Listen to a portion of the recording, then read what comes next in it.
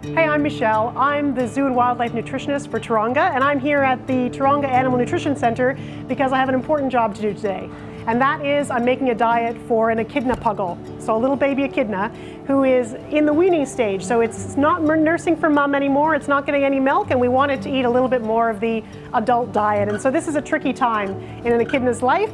And so I'm preparing something that might improve his intake a little bit and hopefully uh, he'll be on that adult diet very soon. So we've got to go and prepare this diet. So let's get in there. Follow me. So today we're going to make an echidna mix.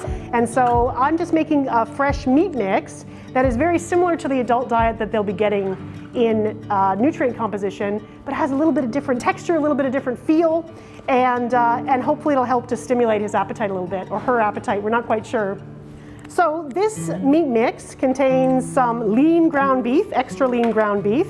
So I'm just gonna pop that in our Thermomix here. Yummy, yummy, yummy. And then it also contains some hard-boiled eggs. So I've got some pre-weighed hard-boiled egg here. I'm just gonna add that in to the mixer. And then it also has some other ingredients. This is actually a pure cellulose, so it's a fiber that we're adding in. Fiber is really important for echidnas because normally they'd be sticking their little noses and mouths into termite mounds and things and taking in a lot of different fiber from that. From that. And this is just some um, vitamin and mineral supplement, and that's all pre-weighed as well. I like to pre-weigh everything because you know it is very cooking show-like to do that. And this is water. It's a little foggy. The reason it's foggy is because it has some vitamin E liquid in it. So we're just going to add everything into the Thermomix. And then like magic, we are going to blend it up. So this is going to be very loud. Let's just see. Blend it. I want it very creamy.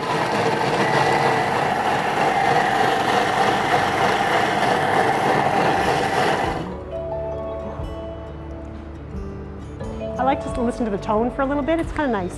Okay, so then I'm just going to take the lid off and make sure that it's all blended, creamy, creamy.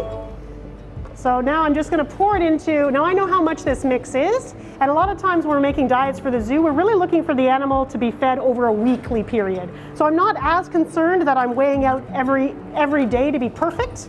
I just want to make sure that they're basically even. For our little echidna,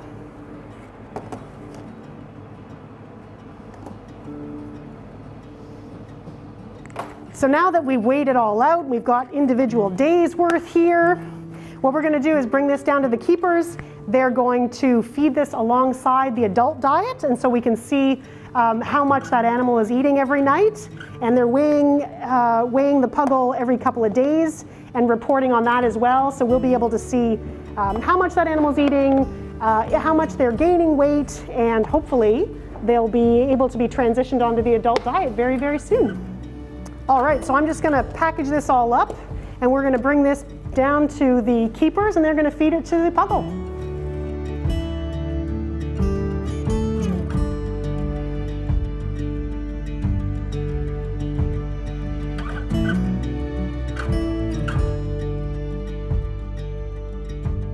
So we've come down to backyard to bush, and it just so happens that the echidna puggle is awake, which is unprecedented.